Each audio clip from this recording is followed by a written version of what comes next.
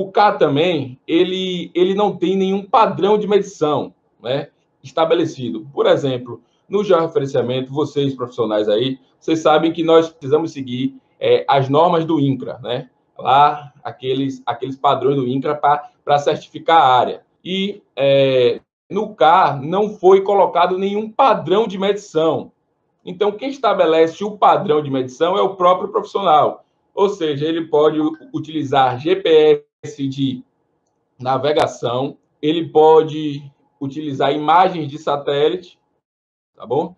É Como não foi estabelecido um padrão, a responsabilidade é do profissional, ok?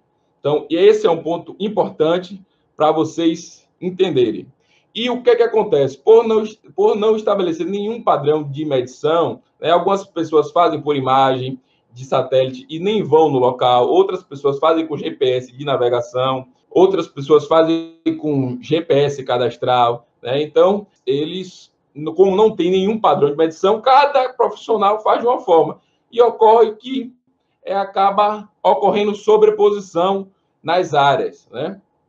E quando ocorre sobreposição nas áreas, o próprio sistema, ele ali deixa passar é, alguns, alguns percentuais de sobreposição tá bom? Então, para evitar questionamentos diversos. Então, ele tem ali, ele deixa passar é, algum, algum percentual do padrão de medição, alguns 10%, alguns 15%, né? aí vai depender do próprio sistema do Estado.